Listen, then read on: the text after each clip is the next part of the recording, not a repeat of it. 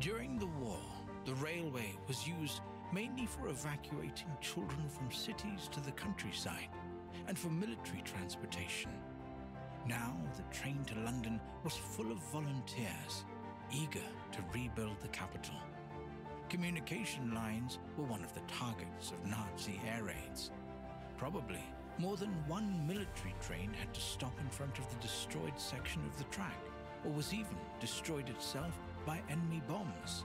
But even without hostile activity, transporting ammunition is a dangerous undertaking. In nearby Soham, the train station was destroyed when a wagon full of explosives blew up on the platform. Something is not right. Our train stops, but it is still a long way to London. What's going on there? Broken tracks, rubble and wrecks. My God. Is this the Soham disaster all over again?